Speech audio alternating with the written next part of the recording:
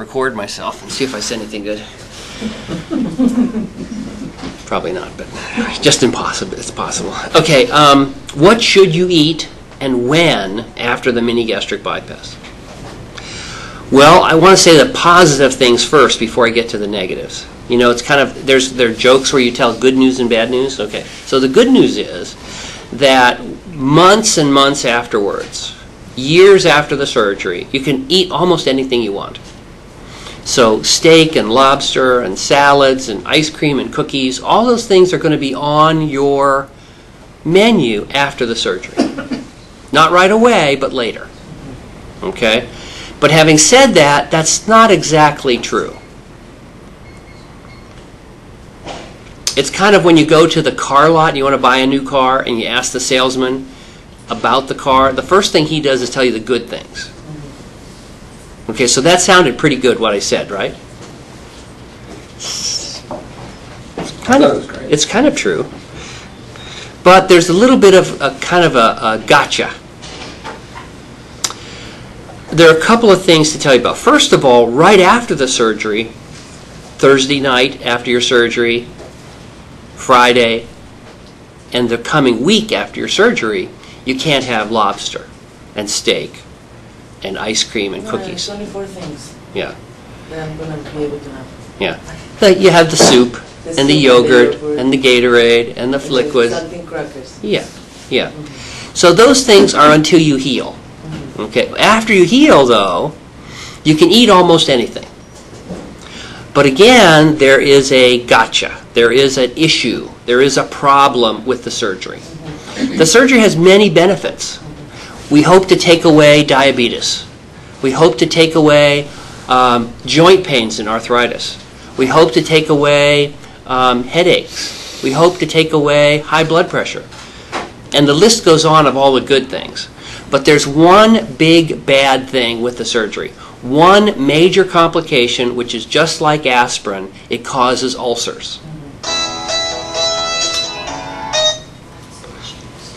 Okay, so causing ulcers is a big, dangerous complication of our surgery.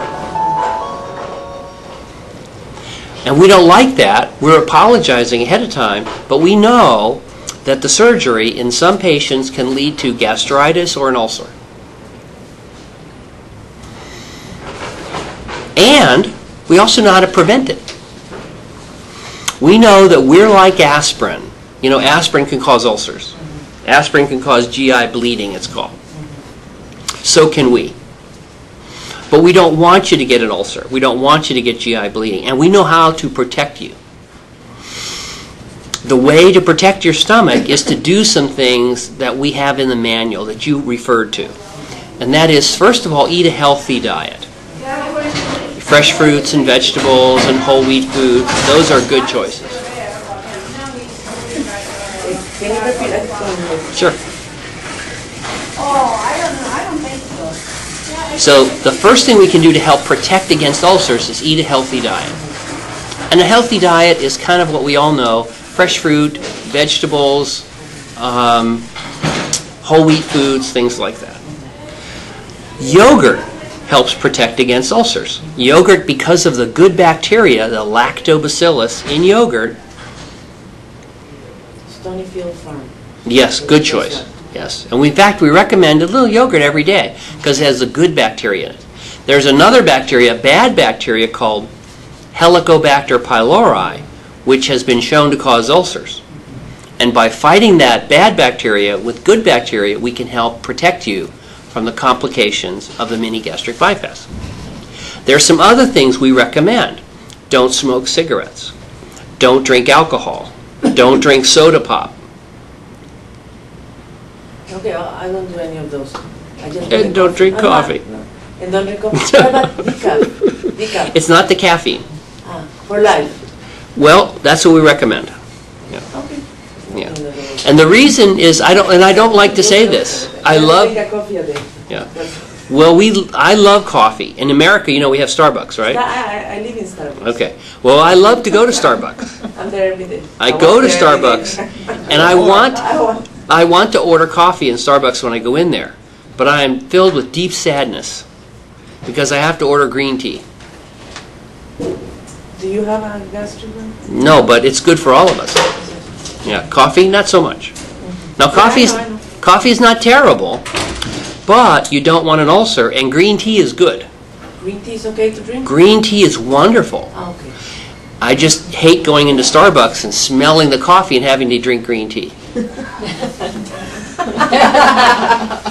They say, "What's wrong?" I said, "Give me a green tea." "Well, why are you so angry? I like green tea. What Well, other herbal teas that are fine too, though? Or- well, we don't know. You know, I think that it's interesting. You know, is chamomile good? Is rose hips? Is uh, you know? Here's here's the funny thing. They have looked at black regular black tea. You know, iced tea, and it's not as good as green tea, which again makes me angry. But I'm just reporting the research. And one of the things I said yesterday is I talked about why I'm good to come and see. Well, hopefully because I do a lot of surgeries, I'm good at cutting and sewing. Good morning. Good morning. Come in the house. She went to the annex. We didn't know how to get that information. That's all right.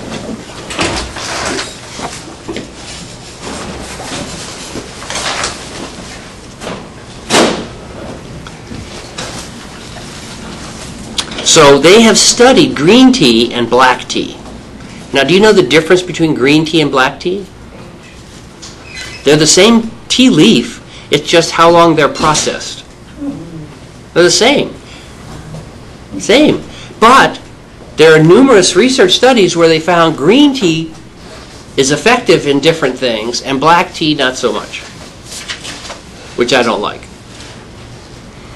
But green tea, for example, helps kill that bad bacteria, Helicobacter pylori. Hmm? Coffee? No. Green tea? Yes. So I could drink the green tea within two weeks after the surgery? You can drink it today and tomorrow and the next day, yeah. Oh, Yeah.